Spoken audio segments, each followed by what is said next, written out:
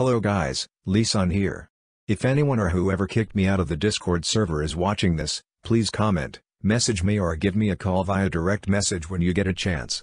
Well, I also have more stuff going on with society issue with someone that last year before Valentine's Day, my ex-buddy or ex-best friend who I met since middle school, not calling out names publicly, has dumped me and blocked me last year since I was so depressed and upset for Valentine's Day, and not only that, he spent too much time on Discord and not enough time talking to me.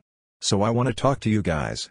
I don't think that I'm gonna have myself come back to Discord due to the dark images that I had last year. I was so miserable during Valentine's Day. So I just want to talk to you guys about that and just letting you know what that means. I know you all are upset and mad as hell at me, and it's how I feel right now. I don't expect to be forgiven. I know that Discord is for gamers and other individuals to talk and hang out with their communities and friends. I'll still at some point upload some contents on YouTube, Instagram, Twitter, and Facebook page, but I think that's what I'm gonna do from now on. I'm not gonna be coming back to Discord due to having bad times with my ex-best friend and the dark images I was having last year during a miserable Valentine week. So yeah, please comment, message me or give me a call via direct message when you get a chance. I appreciate it. Goodbye.